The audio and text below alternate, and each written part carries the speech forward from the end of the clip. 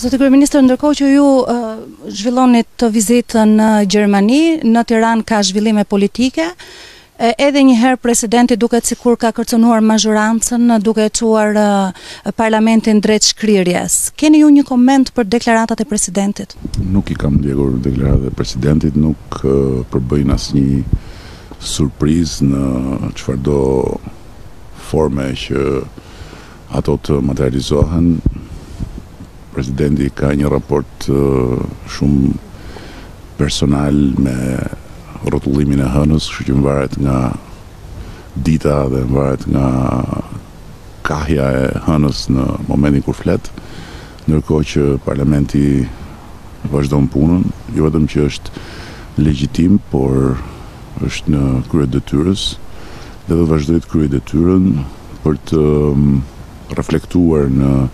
Kodin Zgjedhor ndryshimet e rëndësishme që ndodhën përpara mbylljes së sesionit të kaluar, duke i hapur rrugë listave të hapura dhe njëkohësisht duke konsoliduar sistemin zgjedhor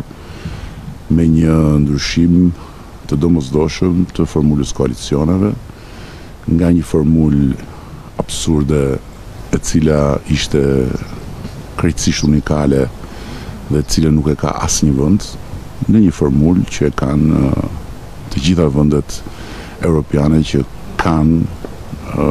koalicionin si një mundësi dhe që krijojnë koalicione parazgjedhore. Zoti kryeministër, propozimi i Damian Gjiknurit për lista të hapura duket sikur nuk është pritur mirë nga opozita, e cila në fakt i ka konsideruar këtë propozim si një mundësi që këto lista të jenë më shumë të mbyllura. Propozimi nuk është asnjë shpikje, propozimi referohet një modeli që e kanë disa vende demokratike që përdorin listat e hapura. Çdo propozim është i diskutueshëm.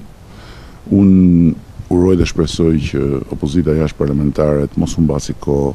Siç e ka zakon, sepse koha nuk pret, zgjedhjet janë njëzet e pesë prill, votimi i Ligjit Zgjedhor është vetëm hapja e një procesi ku pastaj do duhet të zbatohet Ligji Zgjedhor, të mos harrojmë që në Ligjin Zgjedhor kemi edhe angazhimin për për sistemin e identifikimit elektronik dhe sa më shumë humbitet kohë, Aq më pak bëhet i mundur implementimi i këtij sistemi dhe edhe një herë përsëris opozita është e mirëpritur të diskutojë, të japë alternativa, por që të pengojë procesin siç e ka zakon, duhet ta harrojë, ta harrojë një orë e më parë sepse nuk ka kohë për të pritur dhe sigurisht që ne nuk do presim në pafundësi.